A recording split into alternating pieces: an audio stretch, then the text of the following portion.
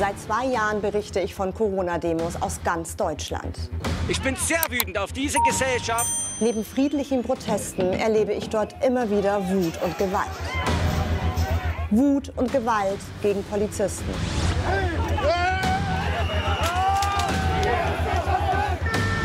Die Lage ist gerade sehr unübersichtlich.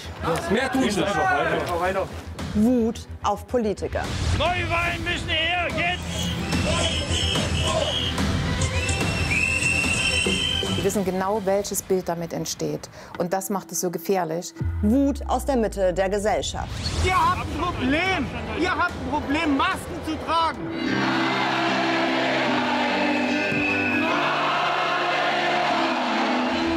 Wut auf die Impfpflicht.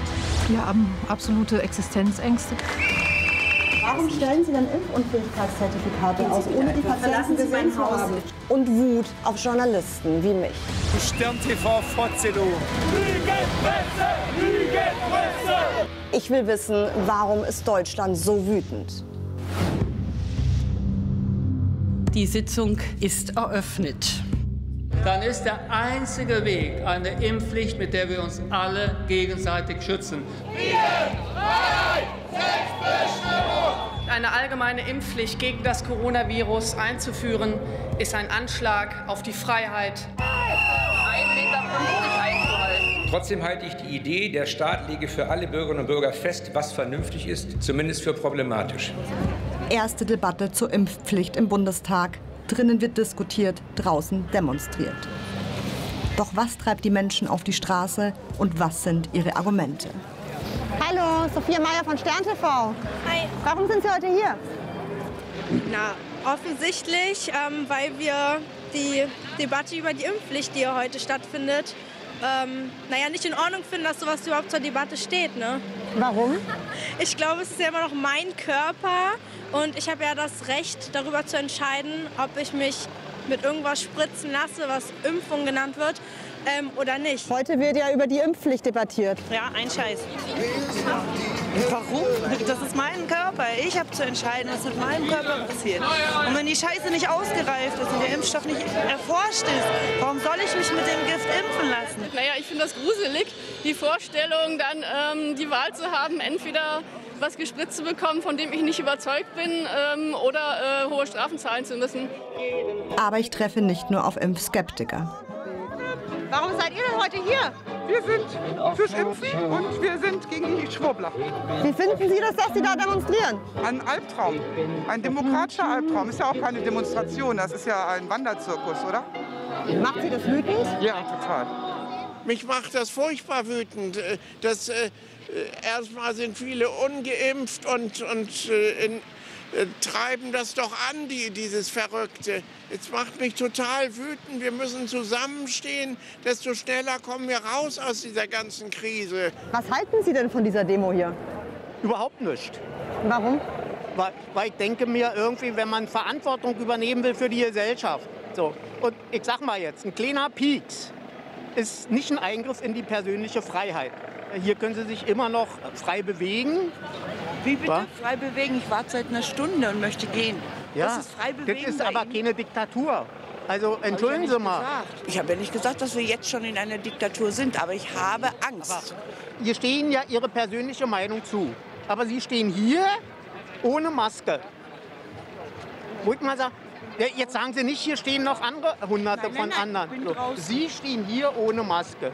so, Sie stehen draußen, Sie stehen, wir stehen hier alle eng zusammen. Wir haben uns das nicht ausgesucht, ob Sie äh, Gegnerin sind von der Impfpflicht oder nicht. Das spielt für mich jetzt keine Rolle. Aber Sie stehen hier genauso wie ich. So, Sie tragen keine Maske, ich trage eine Maske, weil ich das gesellschaftlich richtig finde.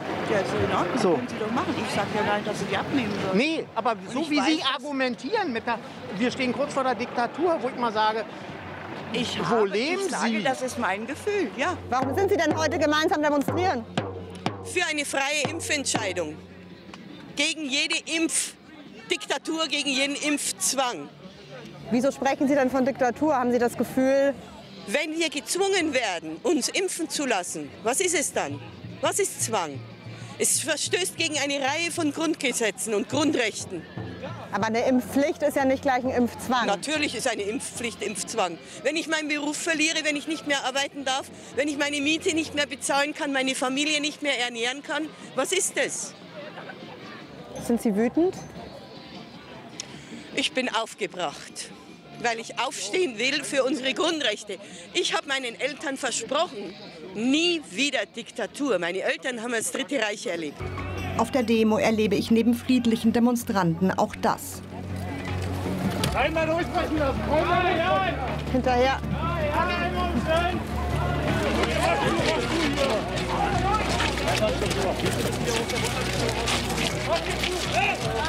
Ein Mann versucht, die Polizeikette zu durchbrechen.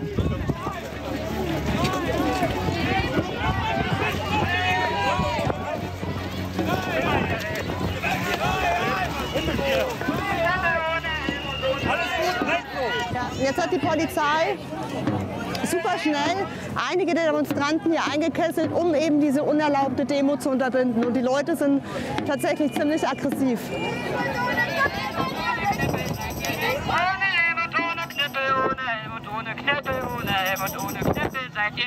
Hey! Meine Operation! Sind Sie jetzt schon vernünftig?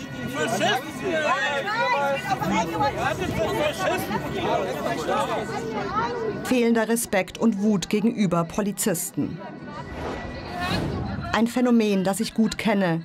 Auf Corona-Demos im ganzen Land habe ich diese Szenen dokumentiert. Widerstand! Widerstand! Widerstand! Ihr solltet euch schämen!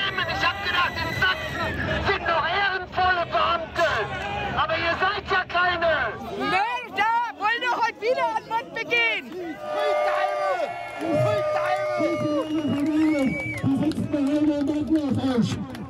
Statt hier auf die Straße zu gehen. Ihr seid doch stolz, oder was? Wir werden alle in der Hölle schmoren! Hör auf! Weißeier! Bringt eigentlich euch Reden! You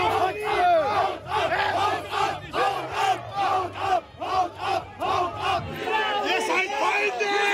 Feinde! Scheiß Nazis hier!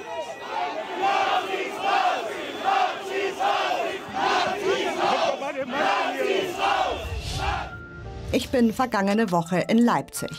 Die Wut gegenüber Polizisten beschäftigt und bewegt mich total.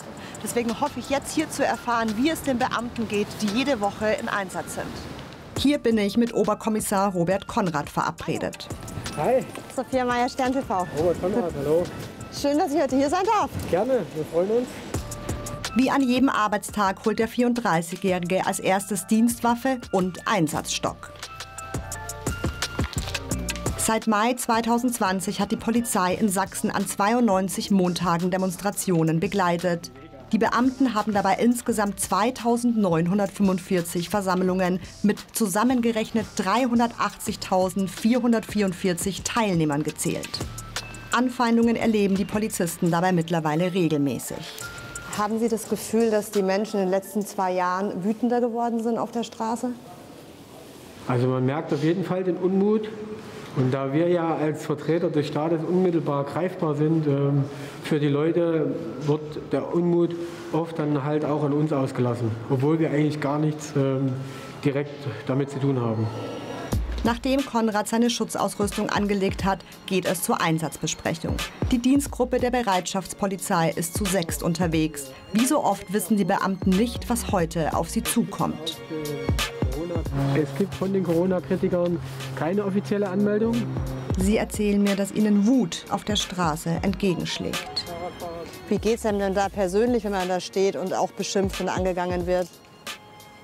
Kommt halt drauf an. Ähm, wir sind halt natürlich viel gewohnt. Man muss da halt in einer gewissen Art und Weise auch ein bisschen drüber stehen können und auch müssen. Ähm, aber es gibt halt auch eine Grenze, die, wenn es dann um Nationalsozialismus geht, wenn wir als Nazis bezeichnet werden, da hört es dann halt auch bei uns auf. Was ich persönlich noch sehr schwierig finde, ist, wenn man persönlich bedroht wird. Also wir haben eine Uniform an und in der Uniform steckt ein Mensch. Der Mensch hat auch irgendwann mal seinen Dienst getan und hat ein Dienstende und geht nach Hause und hat Feierabend. Und wenn darüber dann hinaus noch gewisse Bedrohungen kommen, das ist dann schon schwierig. Was erleben Sie und Ihre Kollegen denn für Bedrohungen nach dem Feierabend? Na, es gab schon in gewissen Telegram-Gruppen so gewisse Aufrufe von wegen, äh, stattet den Bullen zu Hause ähm, Heimbesuche ab, wo man dann halt schon sagt, in, meinem, in meinen vier Wänden möchte ich mich wohlfühlen, da möchte ich mich sicher fühlen und wenn ich dort dann besucht werde und angegriffen werde, dann ist definitiv auch in der Gesellschaft eine Grenze erreicht. Dann geht es los. Ich fahre den Beamten hinterher. Erster Einsatzort Leipzig-Engelsdorf. Hier haben sich Kritiker der Corona-Maßnahmen und Gegendemonstranten versammelt. Die Polizisten sollen beide Lager voneinander trennen. Wie ist die Lage? Während der Anfahrt erfuhren wir, dass es da schon zu verbalen, bis vielleicht sogar schon bis körperlichen Auseinandersetzungen kommt zwischen den zwei Lagern. Also die Lage ist gerade sehr unübersichtlich. Ich begleite die Bereitschaftspolizei Leipzig. Die Beamten sind heute bei einer nicht angemeldeten Demo im Einsatz. Die von Ihnen gebildete Menschenansammlung wurde durch die Polizei als öffentliche Versammlung gewertet. Ihre Versammlung ist jetzt hiermit aufgelöst. Die Beamten sperren die Straße. Ein Demonstrant ist damit nicht einverstanden. Er redet vehement auf die Beamten ein. Wo ist der Einsatzleiter? Folgendes, ich kann das jetzt erklären. Ja, ganz schnell. Wir sind auch dazu. Der Einsatzleiter, wo ist der Einsatzleiter und wer ist der Einsatzleiter? Sie reden jetzt mit, mit mir.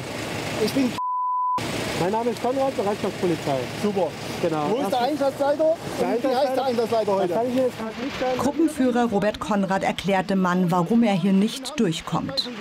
Erstens ganz kurz, wir nehmen mal kurz Abstand voneinander, äh, kurzen Schritt. Sie haben ja bestimmt mitbekommen, dass auch heute ein Gegenprotest äh, stattfindet. Und der wäre in Kürze da gewesen. Und wir als Polizei wollten verhindern, dass beide Lager aufeinandertreffen und die Fohlen wäre fast zu einer körperlichen Auseinandersetzung gekommen, die nur verhindert wurde, weil wir dazwischen standen. Und das gleiche hat man jetzt hier auch getan. Komisch, die anderen Wochen war, die, war das Problem nicht. War auch ein Gegenprotest da? Oder ja, ja, nein, es war kein Gegenprotest. Und diesen Gegenprotest heute hat eine linke Organisation angemeldet, die hier massiv provozieren. Und deswegen sind sie hier. Weil, und sie müssen uns schützen, wie sie gerade sagen. Aber ist das nicht Demokratie, dass man alles... Äh, Mitten im Gespräch geht der Mann weg. Respekt gegenüber den Beamten erlebe ich hier wenig. Ist es auch frustrierend, wenn Dialog so endet wie eben? Ähm, ich sage auf der einen Seite ja, auf der anderen Seite er ist nicht durch die Kette durchgegangen. Also wir haben ihn ohne unmittelbaren Zwang, ohne Gewalt äh, daran gehindert, dass er durchgeht. Und das haben wir geschafft, indem wir mit demjenigen ins Gespräch gekommen sind und das nehme ich als Erfolg mit. Der Einsatz geht weiter. Immer noch sind mehrere Demonstranten verschiedener Gruppen unterwegs. Der Protest findet ja immer noch statt. Deswegen ist jetzt das aktuelle oberste Ziel immer noch, die beiden Lager voneinander zu trennen. Beziehungsweise dafür zu sorgen, dass sie nicht aufeinander kommen, so wie vorhin mit dieser Fahrzeugsperre. Die Polizisten und ich begleiten jetzt die Demo der Corona-Gegner. Die Stimmung aufgeheizt und aggressiv. Die Leute pöbeln lautstark gegen Politiker. Wir haben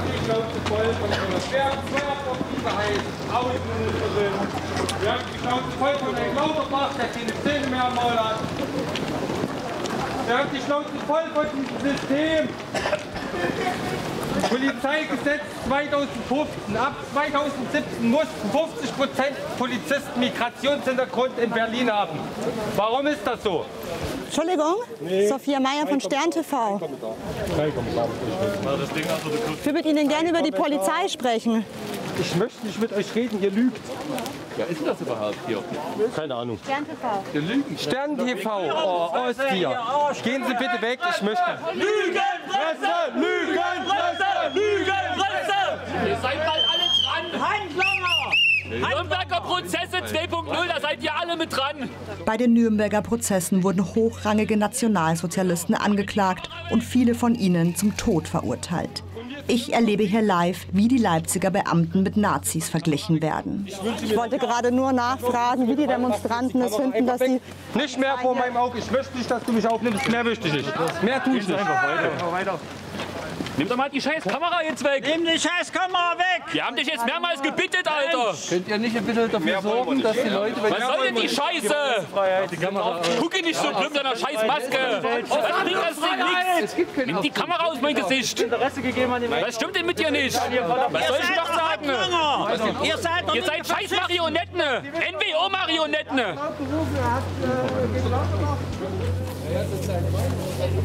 Ich wollte gerade nur mit den Demonstranten darüber sprechen, wie sie es finden, dass die Beamten hier regelmäßig beschimpft werden. Aber Gespräch war leider nicht möglich und die Situation ist sofort eskaliert. Robert Konrad findet deutliche Worte. Ja, mich am meisten ärgert mich äh, das, wenn man die Vergleiche mit Bediensteten aus dem Dritten Reich bringt. Weil das ist ja völlig absurd. Diese Wut gerade eben, ist es was, was Sie öfter erleben im Einsatz? Also man merkt jetzt schon, dass äh, der Frust jetzt hier größer wird und ja, es auch zu massiven Anfeindungen gibt. Und äh, manchmal ist die Stimmung sogar ist die Stimmung sogar so weit, dass es, sag ich mal, kurz vor einer körperlichen Auseinandersetzung steht. Hey, und das ist halt dann, läuft, Junge. Tritt von der Füße gegen. Auf mich hoch. Das ist halt dann jetzt die Schwierigkeit und da geht es einfach zu weit. Haben Sie das Gefühl, dass die Leute überhaupt noch begreifen, dass in dieser Uniform auch ein Mensch steckt? Ja, da denke ich manchmal, dass es einfach ähm, den Leuten nicht bewusst ist und dass sie in der Polizei als Vertreter des Staates ähm, den Staat sehen und deshalb auch uns gegenüber den, den Unmut kundtun. Die Szenen zeige ich Judith Rahner. Sie ist Extremismusexpertin der Amadeo Antonio Stiftung. Woher kommt diese Wut gegenüber den Beamten? Alles, was sich da an Radikalität aufgebaut hat und an Hass gegenüber dem Staat, wird natürlich als erstes gegen äh, Polizisten, die vor Ort sein müssen, äh, wird sich das sozusagen, bricht sich das Bahn und wird an denen abagiert. Ich habe auch gesehen, äh, irgendwelche Rentnerinnen, die die Polizei anschreien aus tiefster Seele. Und verächtlich machen. Und das sind wirklich erschütternde Bilder. Und da hat sich einiges auch aufgebaut an Radikalität in den letzten zwei Jahren. Bundesweit gehen Menschen in hunderten Städten jeden Montag auf die Straße, protestieren gegen Corona-Maßnahmen. Ich habe einen Ort in Deutschland gefunden, wo die Impfpflicht das medizinische Personal spaltet. Gummersbach war eine der ersten Städte im Land, wo Pflegekräfte gegen eine Impfpflicht auf die Straße gehen.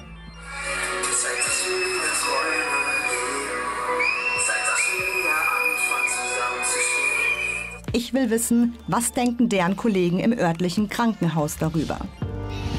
Das Gummersbacher Kreiskrankenhaus. Etwa 90 Prozent aller Angestellten sind hier bereits geimpft. Auf der Intensivstation begleite ich Oberarzt Dr. Mingers bei seiner Arbeit. Er will gerade eine Covid-Patientin versorgen, als unsere Dreharbeiten unterbrochen werden. kriegen eine Polytraumameldung gerade rein. Ja. ja. Wer kann da runtergehen? Können Sie das klären? Ich schicke Herrn der Rabi, ne? Gut. Überschlagener PKW. 30 Meter Böschung runter. Okay. Ja. Ja, okay. ja, da wird es jetzt eng mit unseren Intensivkapazitäten. Ähm, so viele freie Betten haben wir im Moment nicht. Jetzt werden wir gleich ein bisschen äh, tricksen und improvisieren müssen. Später wird klar, das Unfallopfer hatte Glück, muss nicht auf die Intensivstation. Mediziner Dr. Mingers versorgt eine Covid-Patientin. Die 64-jährige ungeimpfte Frau liegt hier seit fast vier Wochen. Ich schau mal lieber auf. Ja, ja okay. Ich muss einmal auf den Bauch hören. Insgesamt liegen zu diesem Zeitpunkt fünf Covid-Patienten auf der Station. Vier von ihnen müssen künstlich beatmet werden. Etwa jeder zehnte Mitarbeiter ist ungeimpft. Viele sind sogar bereit, ihren Job zu verlieren. Aber in letzter Konsequenz bedeutet das noch mehr Belastung für Sie und Ihre Kollegen. Das würde es bedeuten. Ja. Ich bin da natürlich auch ambivalent, was das betrifft, weil ich natürlich möchte, dass der Betrieb weiterlaufen kann und äh, ich eigentlich nicht scharf darauf bin, dass ähm, diese Leute alle kündigen. Ja. Zusammen mit Pflegeleiter Thomas Wolbert darf ich in das Behandlungszimmer eines Covid-Patienten. Ich muss Schutzkleidung anziehen. Wie gut kriegen Sie Luft im Moment? Äh, tatsächlich schwierig. Also mit dem Schild noch mal dazu. Schweren kommt halt hinzu und müsste jetzt merken, dass es langsam anfängt warm zu werden unter dem Plastikmantel. Also ich hab, bin jetzt zwei Minuten in dieser Montur und das ist schon irgendwie ein bisschen Mhm. beklemmend. Ja. Alles klar, dann können wir jetzt reingehen.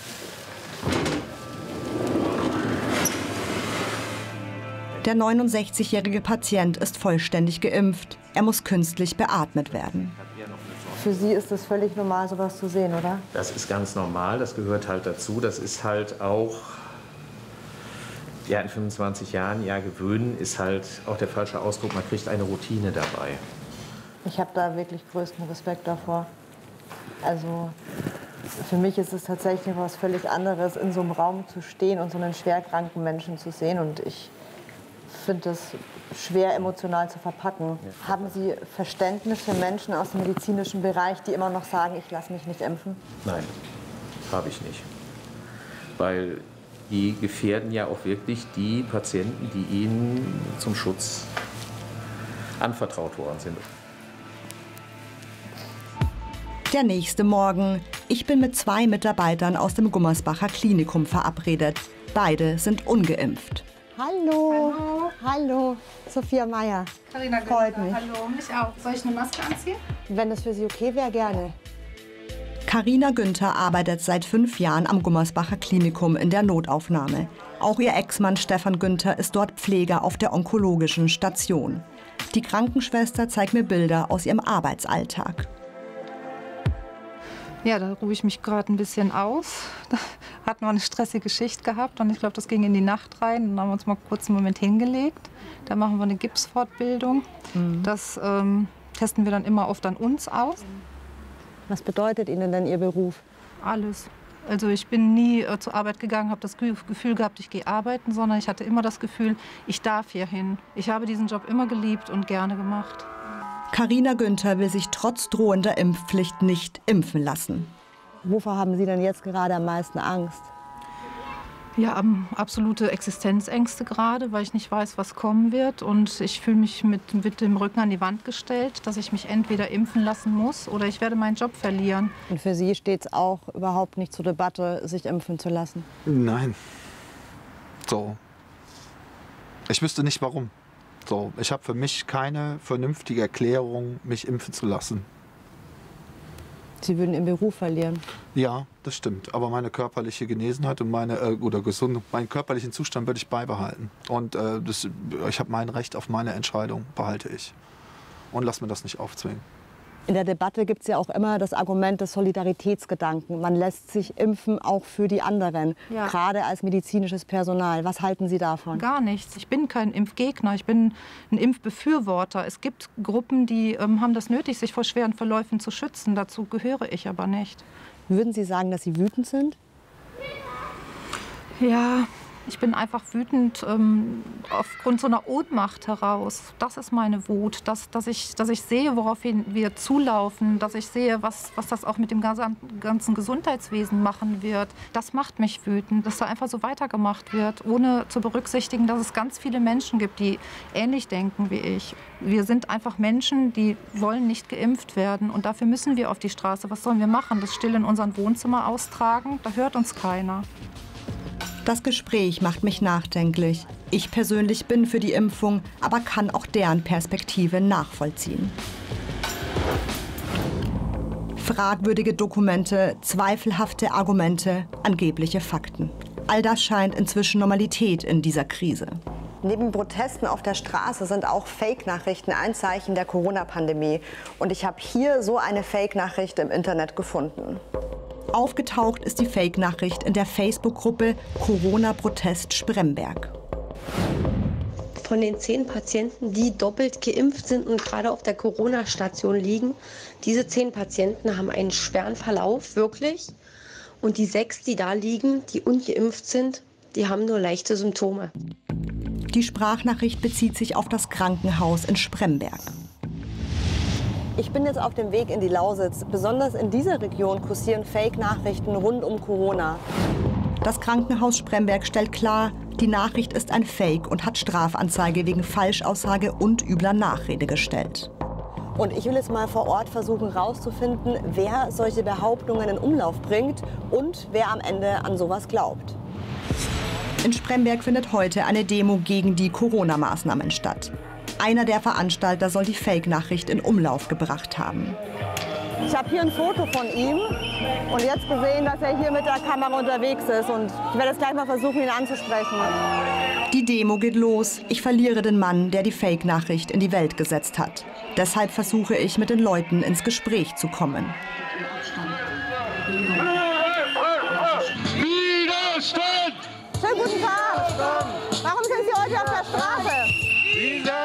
Widerstand! Warum demonstrieren Sie? Widerstand! Warum demonstrieren Sie? Was An die? Kameramännchen, zieht euch zurück. Wir wollen euch nicht. Ihr seid die Teil der Lügenpresse und Teil des Problems. Keine Interviews. habt ihr überhaupt eine Erlaubnis geholt? Hier ist eine Demo, ich brauche keine Erlaubnis. Ich höre die ganze Zeit Lügenpresse, verpisst euch. Also es ist super schwierig bei der Stimmung hier mit den Menschen ins Gespräch zu kommen. Friede, Freiheit, keine Diktatur!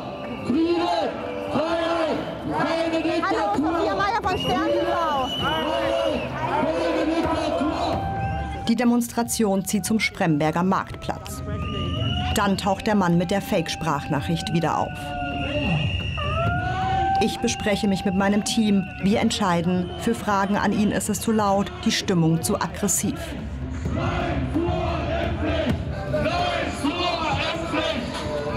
Du behältst, du behältst ihn im Auge und ich rede mit den Leuten. Warum demonstrieren Sie heute? Warum, wo sind eure Bodyguards heute? Traut ihr euch ohne raus? Wenige Minuten später auf dem Marktplatz.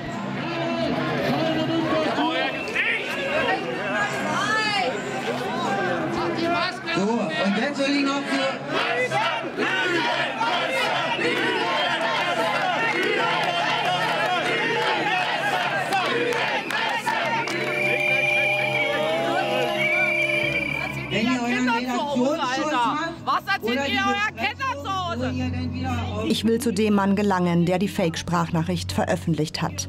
Eine Frau stellt sich meinem Team und mir in den Weg. Bleibt mal hier, ich will einmal mit euch Ich reden. möchte einmal durchgehen, bitte. Nein, warum? Ich möchte bitte mit einmal euch reden. Ja, ich möchte einmal kurz durch. Nee, was ist ja kurz? Abstand halten. Ja, was soll das? Ich möchte mit euch reden. Ja, wir möchten einmal kurz hier durchgehen, bitte. Was müsst ihr? Wir wollen hier einmal durchgehen. Ach, ihr habt Angst. Wir möchten bitte einmal Ihr hier wollt mit durchgehen. Blut rumgehen, für euch sammeln. Ihr lasst euch doch sowieso alle schmieren. Die Frau wird in dieser Geschichte gleich noch eine besondere Rolle spielen. Dann habe ich den Mann mit der Fake-Sprachnachricht gefunden. Schönen guten Tag, Sophia Meier von Stern TV. Hallo. Sie sind der Admin der Facebook-Gruppe Corona-Protest Spremberg. Da gab es eine viel diskutierte Sprachnachricht. Wissen Sie, wovon ich spreche? Bestimmt. In der Sprachnachricht wurde gesagt, dass hier im Krankenhaus in Spremberg die ungeimpften Patienten leichte Verläufe haben und die geimpften Patienten schwere Verläufe. Mir wurde es so zugetragen. Ich habe mit der Person geredet und sie hat es als ja, sicher äh, bestätigt, dass es eigentlich so wahr ist. Sie steht zu ihren Aussagen und ja, Warum verbreiten Sie denn solche Fake-Nachrichten? ich sehe es nicht als, unbedingt als Fake-Nachrichten an, weil ich denke mal, dass es eher, ich möchte sagen, auch als eine Lüge vom Krankenhaus, aber ich denke mal, dass das Krankenhaus wohl eher, ja, wie soll ich sagen, äh, na, das Gegenteilige eben sagen möchte, dass es eben nicht so ist und weil alle irgendwie pro Impfen sind und im Endeffekt läuft das alles über die Pharmaindustrie. Sie wollen die Sprachnachricht drin lassen. Ich richte mich ja nur nach der Person, die es reingestellt hat und wenn sie sich das wünscht, dann kann ich es rausstellen. Wer ist denn die Person? Arbeitet die selber im Krankenhaus oder? Werde ich nichts zu sagen. Aber was ist das für eine Quelle? Also ist es jemand, der das selber auf der Corona-Station erlebt oder? Werde ich nichts zu sagen. Das heißt, Sie kriegen eine, irgendeine Sprachnachricht von irgendjemandem, der falsche nee, Dinge nee, nee, behauptet Ich, ich kenne schon die Person, aber ich werde nichts dazu äußern. und Sie werden die Nachricht auch nicht entfernen, obwohl es offensichtlich eine Fake-Nachricht ist. Entscheide ich noch. Bis heute hat er die Fake-Sprachnachricht nicht entfernt. Dann treffe ich wieder auf die Frau, die mir den Weg versperrte. Sie zerrt an meinem Kameramann. Anja, los, komm, hier. Da, da spielt die Musik. Sie wird von einem Mann weggezogen. Er hat diese Demo angemeldet und spricht mein Team und mich an. Leute von der Presse, könnt ihr bitte auch mal ein wenig ruhiger bleiben, weil ich möchte nicht, dass es hier eskaliert. Wenn ihr so aufdringlich seid, ist es nach eurem eigenen Risiko. Ja? Dränge nicht auf, weil ihr bringt euch selber in Schwierigkeiten.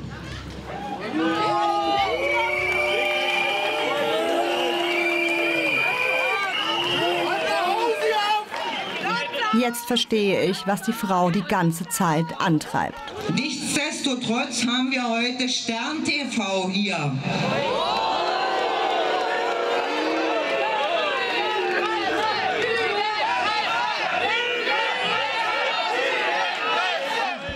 Sie beschwert sich über eine Stern-TV-Ausgabe, in der wir das Publikum fragten, ob es für oder gegen die Impfpflicht ist. Und man hat gesehen, es waren etwas über 20 Prozent für die Impfpflicht und weit über 60 Prozent gegen die Impfpflicht. Ja, aber erst die Hälfte der Sendung vorbei war, hat der Hallerster gesagt, da muss was schiefgelaufen sein. Wir löschen das, wir starten neu. Weder die Zahlen noch das Zitat stimmen. Aber in gewisser Weise wurde unsere Abstimmung tatsächlich manipuliert, und zwar von Impfgegnern. In Dutzenden Telegram-Gruppen wurde im Minutentakt mobilisiert, in der Stern-TV-Umfrage gegen die Impfpflicht abzustimmen. Ich bin in Spremberg, weil ich einer Fake-Nachricht nachgehe und erlebe live, wie ein neuer Fake entsteht. Ich treffe diese Frau. Sie arbeitet im örtlichen Pflegedienst. Warum sind Sie heute hier? Was ist Ihr Anliegen? Weil ich gegen die Impfpflicht bin, eindeutig.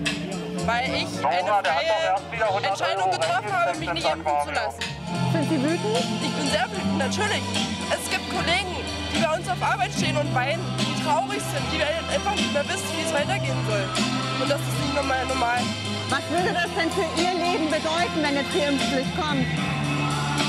Dass ich nicht mehr arbeiten gehen kann. Und wie geht's Ihnen damit? Bitte? Wie geht's Ihnen damit? Na, beschissen, wie uns allen. Deswegen sind wir hier. Zum Abschluss singen die Leute Freiheit von Marius Müller-Westernhagen. Das Lied ist inzwischen eine Art Hymne des Corona-Protests, nicht nur hier in Spremberg.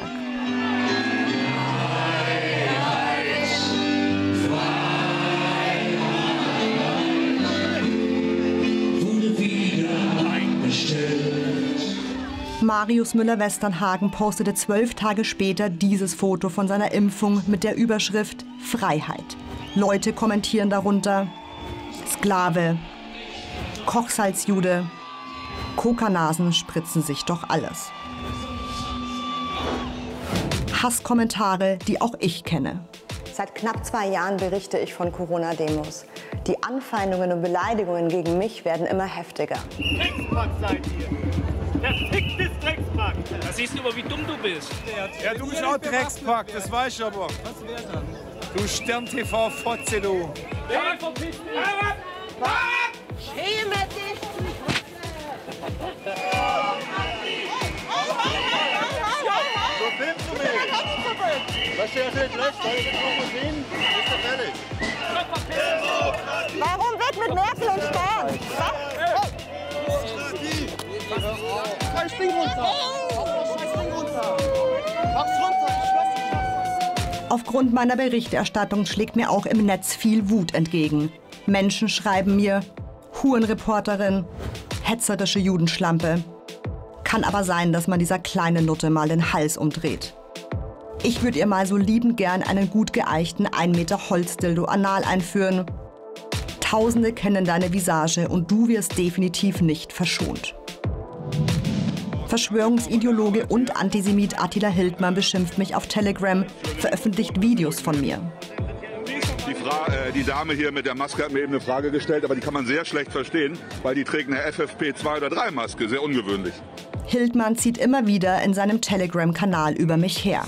Ich habe gerade diesen einen Beitrag gesehen von dieser Sophia Meyer. Ich weiß nicht, welches Lügenkommentar sie sich da irgendwie aus ihrem Poloch gezogen hat. In dem Beitrag stellt sie sich so krass als Opfer hin. Die AfD veröffentlicht eine bundesweite Pressemitteilung über mich und schreibt, Meyer steht stellvertretend für einen gefährlichen und linksautoritären Gesinnungsjournalismus. Ich bin Journalistin und immer mehr Aggressivität ausgesetzt. Wie muss es da Menschen gehen, die den Umgang mit der Pandemie managen müssen? Was erleben Politiker in diesen Tagen?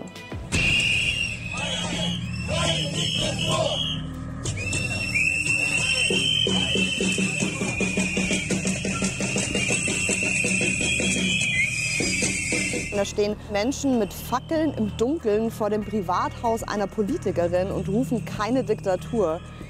Ich würde wirklich gerne wissen, wie sich die Frau in dem Moment gefühlt hat, als sie in dem Haus war. Es ist das Wohnhaus der sächsischen Gesundheitsministerin und die treffe ich zum Interview. Petra Köpping ist 63 Jahre alt, Mutter von drei Kindern und seit fast 30 Jahren in der Politik. Ich bin gerade nach Hause, äh, zu Hause angekommen, es war die Adventszeit. Ähm, habe ja so ein gemütliches äh, Fachwerkhaus und ähm, habe da versucht, mir äh, den, den, Abend in Stimmung ein bisschen zu machen. Und dann hörte ich vom Nachbarn, dass da, äh, ähm, sie sprachen von 50 Menschen mit Fackeln äh, auf dem Weg zu meinem Haus sind. Äh, da ist eine, eine, rote Linie, wie jetzt mittlerweile gesagt wird, überschritten. Äh, für mich auch eine absolute Grenze. Ähm, man ist ja mit Kindern da gewesen. sowas loszulassen, das ist schon harter Tobak, ja.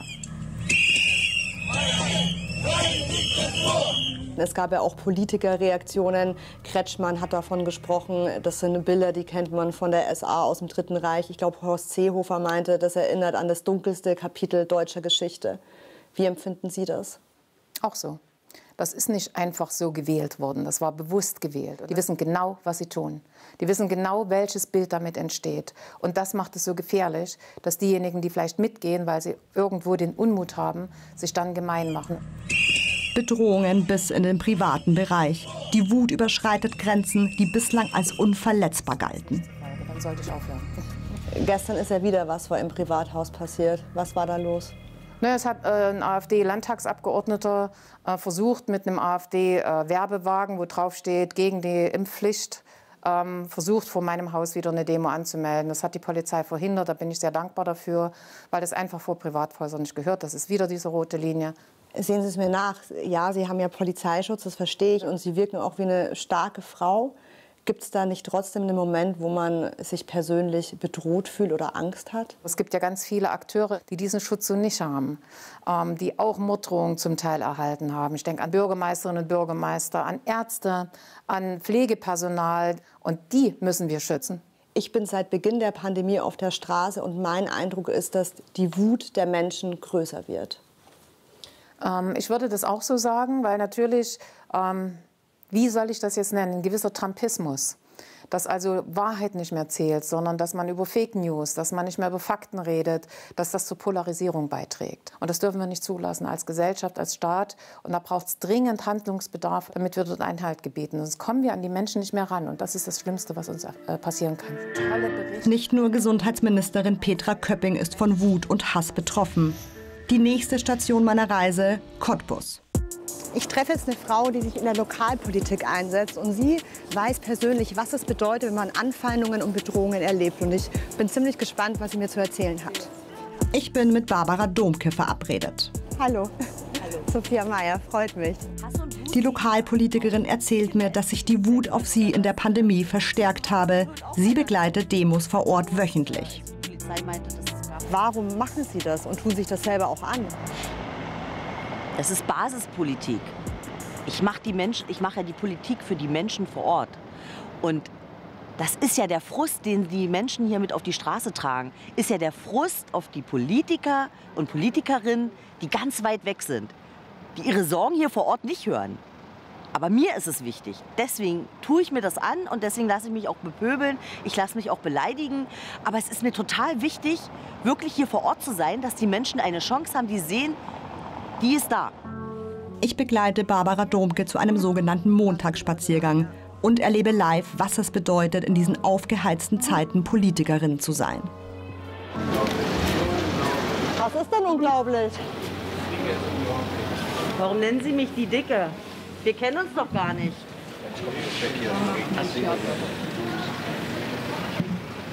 Jetzt sagen Sie doch mal, was Sie meinen. Warum beleidigen Sie denn die Frau?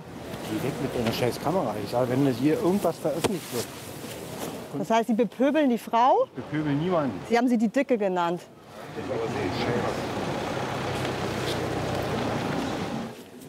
Woher kommt diese Aggressivität Ihnen gegenüber?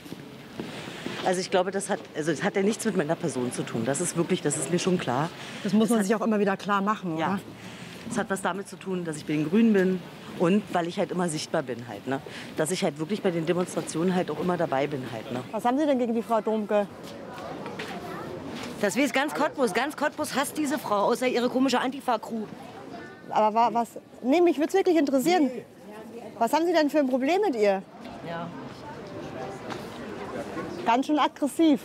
Ja, das haben die Cottbuser Bürger so an sich. Das ist doch das, was Frau Domke sagt. Hier gibt es nur Kampfsportler, Hooligans, Nazis, Rassisten. Ist doch alles gut. Nee, Frau Domke sagt, hier gehen auch Menschen auf die Straße, die Sorgen haben. Oh, was ganz was Neues. Ganz neue Worte. Hey. Applaus für Frau Domke. Ne? Aber wir treffen auch diesen Mann. Er ist bereit zu einem Gespräch.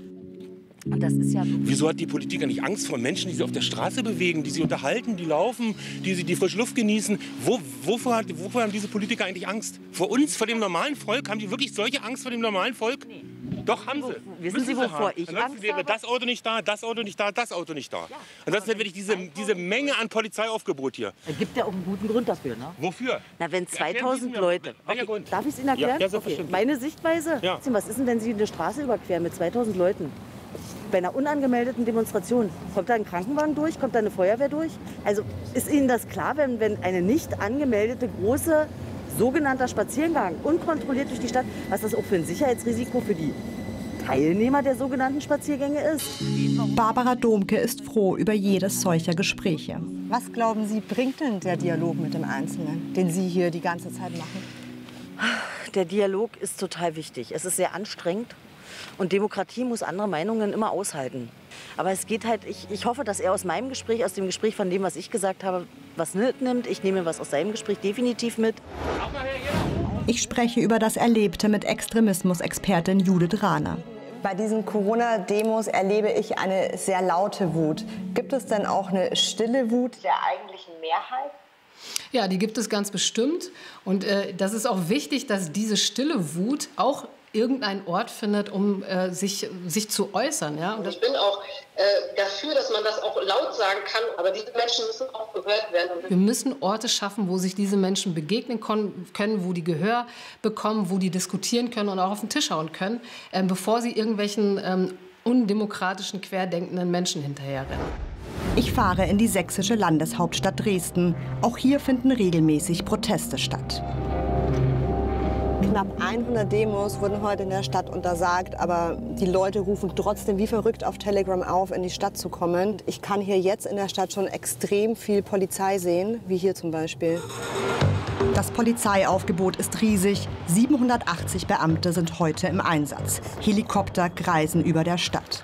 In einem Park sammeln sich die ersten Demonstranten. Von hier setzen sie sich in Bewegung, trotz Verbots. Es kommt zu einzelnen Festnahmen. Sollten Aufmarsch hier. Schluss mal Kopf. Mach dich hin, wo du hingehst, an die Grenze. Alles klar. Ja. Na, siehst du? Beruhigen Sie sich jetzt bitte. Verschwinde aus meinen Augen. Beruhigen Sie sich bitte. Sieh ab hier. Sie mal alle Kameras auf. Schweinehund. Ist mir scheißegal. Du bist die Kamera. Alles klar. Wie bitte? Ja, da wird berichtet im Fernsehen. Was denn? Das ist so eine Maßnahme. Aber die anderen Friedlichen, die friedlich laufen wollen oder sowas, die interessieren Sie nicht. Warum sind Sie denn hier? Ich bin nur zum Spazieren hier. Und da habe ich festgestellt, dass eben wieder hier sowas nur von Ihnen wieder gefilmt wird, anstatt mal hier hinten lang zu gehen. Die friedlichen Menschen mal aufzunehmen, die keine Gewalt ausstrahlen. Aber Sie so sind doch friedlich und ich nehme Sie gerade Genau auf. Und so Sie können jetzt sagen, was Genau Sie so denken. Dann sagen Sie Nee. doch, was Sie denken. Möchte ich aber nicht. Diese Frau ist eine der wenigen, die bereit ist, mit mir zu sprechen. Ich kann die Hysterie und auch das, was hier veranstaltet wird, nicht nachvollziehen. Was meinen Sie, dass das hier veranstaltet wird? Dass hier alles abgeregelt wird und man Menschen daran behindert, spazieren zu gehen und sich dafür zu demonstrieren, dass man möchte, dass dieses Land weiterhin demokratisch bleibt, dass man im Gespräch bleibt und dass man anerkennt, dass es unterschiedliche Meinungen gibt. Das ist für mich Demokratie. Das ist, mir gefallen auch nicht alle Meinungen in dem Land. Im Messenger-Dienst Telegram wird den Demonstranten die Route mitgeteilt. Auch ich orientiere mich daran. Es ist echt das totale Katz-und-Maus-Spiel. Das haben sie auf Telegram gepostet, dass sie sich einen neuen Ort suchen. Müssen ein bisschen schneller, glaube ich, Moana. Ähm, ich glaube, jetzt muss ich einfach mal hier links rüber. Ja, das ist hier. Wir müssen, wir müssen jetzt hier rüber. Achtung, Achtung, hier spricht die Polizei. Die Polizei macht durchgehend Durchsagen und versucht den Leuten zu sagen, es ist verboten, aber natürlich hält sich niemand dran und das Spiel geht weiter. Moana geradeaus oder hier lang? Gute Frage. Die teilen sich halt auf. Hier ist die Polizei, lass mal da lang laufen. Okay. Mein Kameramann Moana und ich folgen den Beamten, die einzelne Straßen absperren. Ja, die machen jetzt hier zu, wir können da ja durch mit Presseausweis. Dürfen wir hier durch? Bitte. Dankeschön. Wir sind sechs Leute.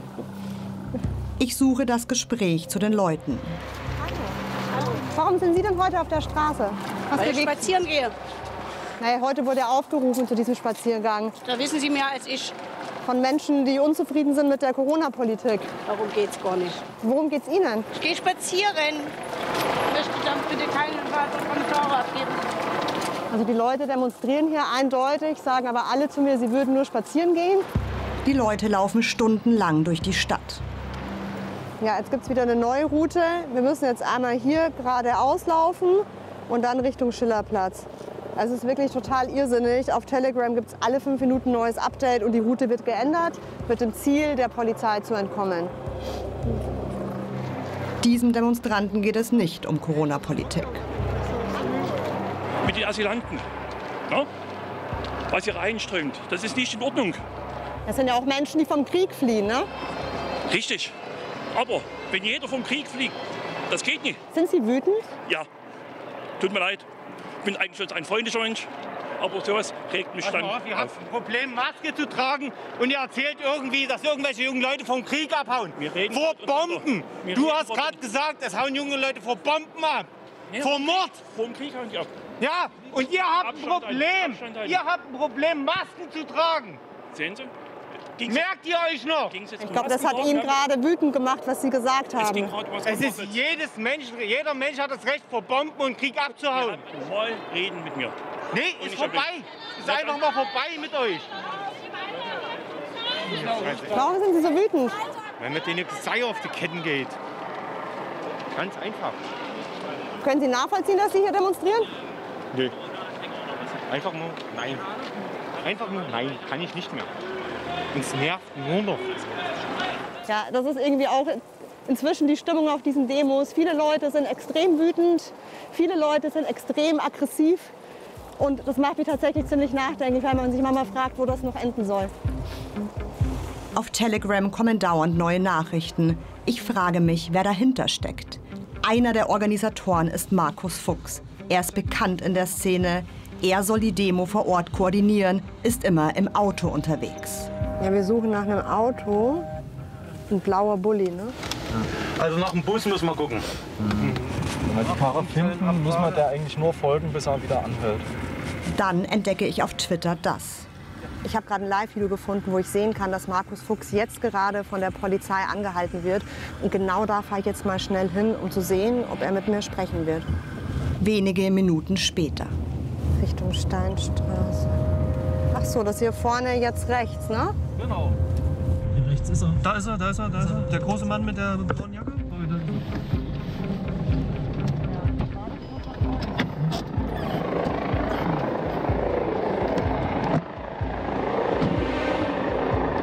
Hallo, Herr Fuchs. Ja, Sophia Meier von Stern TV. Ja. Er ist bereit, mit mir zu sprechen. Hier machen Sie auf der Bühne Vergleiche zum Dritten Reich. Sie werden alle zur Rechenschaft gezogen. Die letzten aus dem Dritten Reich, die zur Rechenschaft gezogen wurden, die wurden erst 50, 60 Jahre später zur Rechenschaft gezogen. Aber sie wurden zur Rechenschaft gezogen. Und das wird wieder passieren. Das verspreche ich euch. Kennen Sie den Ausschnitt? Das Mai letztes Jahr. Keine Ahnung, nein. Sie sagen da, wir werden die Verantwortlichen zur Rechenschaft ziehen wie im Dritten Reich. Ist das demokratisch? Ich wüsste nicht, dass ich äh, irgendwas. Also Sie das können wir uns mal gerne in Ruhe angucken. Das haben Sie hier gesagt. Das, ich höre hier nichts und was ich da gesagt habe, haben weiß Sie ich am nicht. 3. Und Mai wenn das, und wenn, das, 2021 wenn da gesagt. irgendwas jetzt aus dem Kontext äh, gerissen ist, äh, weiß ich nicht. Äh, Außerdem gibt es ein Foto, auf dem er mit Neonazi Sven Liebig zu sehen ist. Und er war Gast in einem rechtsextremen Podcast. Sie generieren sich hier als demokratisch ja. Und reden gleichzeitig mit Rechtsextremen und machen NS-Vergleiche. Können Sie mir das bitte erklären? Wenn man jetzt zum Beispiel mal äh, an die Anfänge der NS-Zeit guckt, wie das so in den 30er Jahren, Anfang der 30er Jahre war, dann dort, ähm, sieht man dort schon Parallelen. Welche denn? Und äh, ja, die Ausgrenzung bestimmter Menschengruppen, die gibt es jetzt genau, äh, ähnlich wie es eben damals war. Da gibt es also schon äh, Parallelen, die wir hier sehen können. Dass den Menschen bestimmtes auferzwungen werden soll, ist ähnlich wie, äh, wie damals in den Anfängen der NS-Zeit. Ja. Also da gibt es schon Parallelen, äh, die einen äh, zumindest aufhorchen lassen sollten, wo man also kritisch schauen muss, ähm, was passiert hier gerade in dem Land, äh, bewegt es sich vielleicht gerade wieder in eine äh, Diktatur zu. Das heißt, Sie meinen damals sozusagen das Schicksal der Juden und jetzt sozusagen derer, die auf die Straße gehen, die auch vor allem ungeimpft sind. Welchen Vergleich sehen Sie da? Also damals wurden, äh, ähm, damals gab es mehrere Menschengruppen. Es gab auch politische verfolgte Menschen, die genauso ausgegrenzt wurden und denunziert wurden, aber natürlich ein Großteil der Juden. Danke Ihnen auch. Tschüss. Ich zeige die Szenen aus Dresden Extremismusexpertin Judith Rahner. Steht ja auch auf unserem, in unserem Manifest. Markus Fuchs hat auf der Bühne gesagt, wir werden die Verantwortlichen heute zur Rechenschaft ziehen, wie die Verantwortlichen aus dem Dritten Reich. Das ist ein unsäglicher Vergleich und das zeigt ja nochmal auch, wes Geistes Kind er ist. Relativierung der Verbrechen des Nationalsozialismus, Täter-Opfer-Umkehr. Und das ist ein indirekter Aufruf, auch sich dagegen äh, zur Wehr zu setzen, auf die Straße zu gehen, dagegen aufzubegehren, äh, weil man sich eben in einer Diktatur wähnt. Und das ist einfach ein billiges Mittel, was er da bedient und er ist weit entfernt von Bürgerlichkeit. Was würden Sie denn von Bürgern erwarten, die für legitime demokratische Anliegen auf die Straße gehen? Wenn ich auf eine Demonstration gehe, gucke ich mir an, wer hat die eigentlich angemeldet, was für ein Interesse haben diese Menschen. Wenn ich auf eine Demonstration gehe, gucke ich mir an, mit welchen Symbolen wird da eigentlich gearbeitet, welche Fahnen werden geschwenkt. Und wenn ich nicht mit Rechtsextremen auf die Straße gehen will, dann habe ich die Verantwortung, mir vorher anzugucken, wer ist das. Und wenn das komische Leute sind, dann gehe ich einfach nicht mit denen, sondern suche mir andere Protestformen. Ich habe in den vergangenen zwei Jahren auf Corona-Demos immer wieder verstörende Vergleiche zum Schicksal der Juden und zum Dritten Reich gehört. In Stuttgart, Sie sagen, Bill Gates Ihrer Meinung nach ist schlimmer als Adolf Hitler. Ja, eindeutig. Also wenn man solche Leute äh, ver vergleicht und sich wundert, dass praktisch äh, damals äh, diese ganze Hitlerbewegung, dieser ganze Faschismus überhaupt zum Tragen kam, dann muss sich also nicht wundern, wir haben ja jetzt auch keine andere Situation. in München, Wir nähern uns wieder Zeiten, die wir 1933 hatten. in Magdeburg, Ich sage euch, wenn die KZ stehen, wo Ungeimpfte dann ihre Zwangsimpfung bekommen und ich komme da hin und sage, das ist ja ein KZ hier. Nein, das ist ja, das ist ja verharmlosend, Holocaust verharmlosend, was ich ja sage. machen Sie so, gerade so auch. wird Das das, ist so wird das sein. Es geht im Allee Center. Muss man ein Bändchen tragen, damit man einkaufen kann. Ist das geschmackvoll? So All inclusive angefangen. oder was? So, So- hat's angefangen. so hat's angefangen. Entschuldigung, sich mit dem Schicksal der Juden zu vergleichen, ist extrem Nein, geschmacklos. genau so hat es angefangen. Und Sie, Sie spielen das gerade runter. Es hat nicht mit Konzentrationslagern angefangen. Es hat genau so begonnen. Juden wurden millionenfach ermordet. Ja, und wer sagt denn, dass wir nicht auch bald millionenfach ermordet werden? in Berlin, Der Impfzwang. Impfen, impfen, impfen, wie ein Wahn. Wir sind wieder da, wo wir mal waren, im Dritten Reich bzw. Äh, in der DDR. Ich glaube, da war es beinahe nicht so schlimm wie jetzt. Die Geschichte zu betrachten ist sehr relevant für das, was heute passiert. Und in vielerlei Hinsicht ist es eine Parallele und eine Wiederholung. hier schreitet die Polizei ein. Und in Leipzig. Das ist ein Ermächtigungsgesetz. Der Letzte, der das getan hat, war Adolf Hitler. Freiheit, Diktatur, Freiheit, Haben Sie das gerade mit den Juden verglichen? Habe ich das richtig gehört? Nein, habe ich nicht gesagt. Doch, ich habe es auf Band. Das gleiche ist mit den Juden passiert, haben Sie gesagt. Das, ich habe geforscht und früher hat man das auch gemacht. Seit wann hat die Polizei Also, was uns so zu sagen, wenn wir zu Hause zu gehen zu haben? Haben Sie da geforscht? Im Internet, man kann auch googeln. Eine Frau, die diese Menschen googeln sollten, ist Margot Friedländer. Vor knapp drei Wochen hat die Holocaust-Überlebende eine Rede im Europäischen Parlament gehalten. Ungläubig musste ich mit meinen nunmehr 100 Jahren sehen, wie Symbole für unsere Ausgrenzung durch die Nazis, der sogenannte Judenstern, heute von neuen Feinden der Demokratie auf offener Straße schamlos besitzt, benutzt werden, um sich selbst mitten in einer Demokratie als Opfer zu stilisieren. Eine Rede, die mich berührt. Ich mache mich auf den Weg nach Nürnberg. Auf dem ehemaligen Reichsparteitagsgelände findet am Jahrestag der Machtergreifung Hitlers eine Demo statt. Ich frage mich, gibt es auch hier Menschen, die sich mit den Opfern aus dem Dritten Reich vergleichen? Ich treffe zunächst diese Frau. Ich weiß nicht, was mit den Leuten mit uns hier passieren wird, was sie vorhaben. Ich meine, in Kanada gibt es schon oder in Australien auch gibt es schon Lager. Wenn man mal guckt, wollen sie uns in Lager sperren und dann kommt wieder der Geschichtshintergrund. Dass man einfach mal ein Geschichtsbuch liest. Was hat man früher gemacht in den Lagern? Was meinen Sie denn für Lager und früher? Mit Lager, die zum Beispiel Leute, die sich nicht impfen lassen. Und dann sind wir bei KZ. Also Sie stehen gerade auf dem ehemaligen Reichsparteitagsgelände. Genau. Heute ist der Jahrestag der Ja. Machtergreifung Hitlers. Ja. Und Sie machen Vergleiche zum Dritten Reich. Ja, natürlich, das muss man tun. Weil das ist auch dieses alte Tabu der Geschichte, nicht hinzuschauen. Ja, ich finde das ehrlicherweise sehr geschichtsvergessen und sehr geschmacklos. Nein, das ist nicht geschmacklos. Es ist die Geschichte, an die wir Deutschen uns erinnern müssen. Und wir müssen auch aufhören mit diesem Schuldkult. Aber was hat das Schicksal der Juden mit der Situation der Ungeimpften Wir sind zu tun? absolut auf deren Seite. Das haben Sie nicht verstanden. Wir sind auf deren Seite. Aber Sie vergleichen die Zeit von damals mit jetzt, was die Ausgrenzung Ganz betrifft. genau. Das ist nicht okay, wenn man überall damals sieht, Juden raus und heute Geimpfte raus, Ungeimpfte raus. Ich finde das überhaupt nicht okay. Ich finde das sehr, sehr schwierig, sehr geschmacklos. Ja. Ja, das ist Geschichte. Da muss man einfach mal ein Geschichtsbuch lesen. Und es ist auch die mangelnde Bildung. Wenn Sie heute in die Schulen schauen, es wird ja nichts mehr unterrichtet. Das, was wirklich Geschichte ist. Dankeschön. Gerne.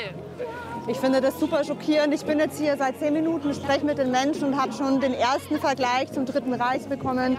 Und das angesichts des Kontextes, dass wir hier auf dem Reichsparteitagsgelände stehen, dass heute der Jahrestag der Machtergreifung Hitlers ist, ähm, finde ich das wirklich zutiefst schockierend. Ungeimpfte und Kritiker der Corona-Maßnahmen erleiden das gleiche Schicksal wie die Opfer der Nazis. Ein kruder Vergleich, den ich auch auf der Bühne höre. Redner ist Maximilian Eder, ehemaliger Bundeswehrsoldat. Und unser Bundespräsident Dr. Steinmeier, der große Versöhner im Land, ich sage dazu, eher spaltet er. Der hat vor sechs Tagen eine Ansprache gehalten, dann führt er unter anderem aus, es ist ja nicht zu verstehen, wenn man Bürger den Vergleich mit dem gelben Stern ziehen. Aus der düsteren Zeit, wissen wir alle aus dem letzten Jahrtausend. So, dann sagt er, ja, das ist eine Bagatellisierung, eine Selbstinszenierung, eine Verhöhnung des Holocaust. Da muss er sich mal fragen, unser Herr Bundespräsident, wie Bürger auf diese Idee kommen. Denn wenn Studenten mit farbigen Armbandel kennzeichnet werden müssen, damit sie in der Uni rein dürfen und anderes mehr, dann brauchen wir nicht wundern, wenn solche Vergleiche aufkommen. Auch jetzt wird auf, der Bühne von Maximilian Eder, ehemaligen Bundeswehrsoldat, der Holocaust relativiert. Ich will mit ihm darüber sprechen. Sophia Meyer von Stern TV. Warum machen Sie denn auf der Bühne Vergleiche zum Dritten Reich? Wo sehen Sie da Parallelen? Ich mache keinen Vergleich zum Dritten Reich. In manchen Universitäten ist das Pflicht, dass Menschen, Studenten, Professoren mit einem Bändchen gekennzeichnet werden müssen, ob sie geimpft oder dreifach oder zweifach oder wie immer getestet sind. Was ist das für eine Art von Verständnis, Menschen durch die Gegend laufen zu lassen, junge Menschen, die am Beginn ihres Lebens stehen und sie mit irgendeiner farbigen Kennzeichnung zu versehen? Wofür muss das Sie sein? meinten, dass sich Sie genau diese Art von Kennzeichnung an die Zeit damals erinnert. Na, ich denke mal, dass sehr viele Menschen sich daran erinnert fühlen. Das habe ich gesagt. Ich kann verstehen, dass viele Menschen so denken. Und empfinden Sie auch so oder nicht? Das ist eine sehr persönliche Frage. Ich habe meine eigene Meinung zu dem Ganzen. Ich muss ja Zurückhaltung in der Öffentlichkeit wahren. Na, ich mache ein Interview mit Ihnen, deswegen interessiert mich Ihre persönliche Meinung dazu. Wie empfinden Sie es denn? Ich brauche mich dazu nicht äußern, lieber nicht. Kurze Zeit später treffe ich diesen Mann. Er vergleicht die Polizei mit der Sturmabteilung der Nazis, der sogenannten SA. So wie die Polizei hier aufmarschiert, erinnert Sie ans Dritte Reich. Das äh, äh, erinnert mich an, an die SA, ja? Das ist ein heftiger Vergleich, weil Nein, das war kein, damals ist kein heftiger Vergleich. So hat es ja angefangen. So hat es damals angefangen. Wenn ich hergehe und schaue nach München, wo das Ganze, wo das Ganze gestartet hat, da war die SA und hat Leute zusammengeschlagen. Und das ist das, was die Polizei jetzt macht. Warum protestieren Sie heute? Ich möchte Neuwahlen. Die Regierung muss weg. Wir wollen eine, eine Regierung von anständigen Leuten und nicht von Betrügern und Dummköpfen. In Berlin sitzen nur Dummköpfe an der Macht. Berufslose, die alle nichts auf der Wege gebracht haben, die nicht arbeiten gewesen sind, die bestimmen unsere Zukunft. Die müssen weg. Neuwahlen müssen her, jetzt. Sie rufen ja keine Diktatur. Als was empfinden Sie denn Deutschland heute? als faschistischer Staat. Für mich ist Deutschland heute Faschismus. Faschismus fängt nicht an in Konzentrationslager.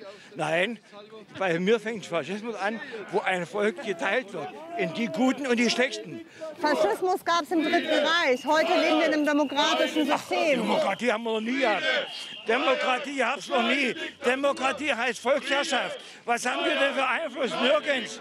Die, die Bonzen, die teilen sich das Land auf und wir sind die Dummen. Es erschüttert mich zutiefst, wie viele Menschen auf den Demos diese Vergleiche ziehen. Ich möchte mit Rechtsextremismus-Expertin Judith Rahner darüber sprechen.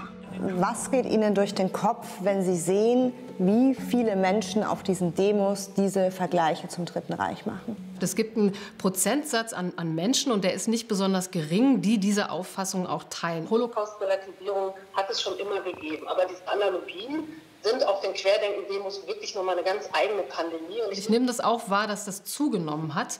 Also überall, wo man hinschaut, wird mittlerweile Holocaust relativiert, wird sich ein Judenstern angeheftet, was Gott sei Dank jetzt auch strafrechtlich äh, verfolgt wird.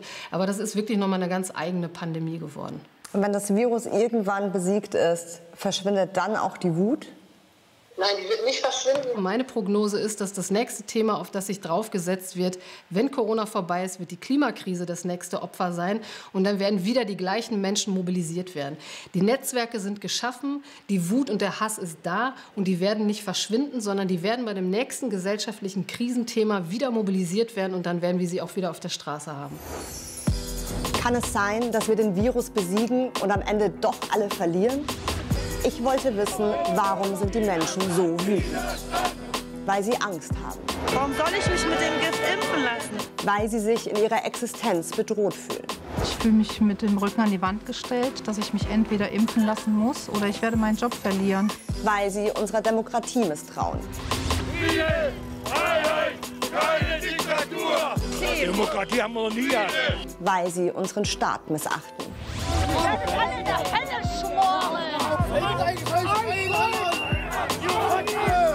Täglich werden Grenzen überschritten, die nicht überschritten werden dürfen. Das hat nicht mit Konzentrationslagern angefangen. Es hat genau so begonnen. Damals hielt Juden raus und heute Geimpfte raus, Ungeimpfte raus. Die Wut wird größer, auch aus der Mitte der Gesellschaft. Ein kleiner Pieks ist nicht ein Eingriff in die persönliche Freiheit. Ihr habt ein Problem. Ihr habt ein Problem, Masken zu tragen. So werde ich auf den Straßen begrüßt. Der Dialog scheint abgerissen. Es macht mich total wütend. Wir müssen zusammenstehen. Desto schneller kommen wir raus aus dieser ganzen Krise. Corona gefährdet unsere Gesundheit und auch unsere Gesellschaft hat viel verloren. Wir haben verlernt, einander zuzuhören und andere Meinungen auszuhalten. Wenn wir das wieder schaffen, dann haben wir nicht nur den Virus besiegt.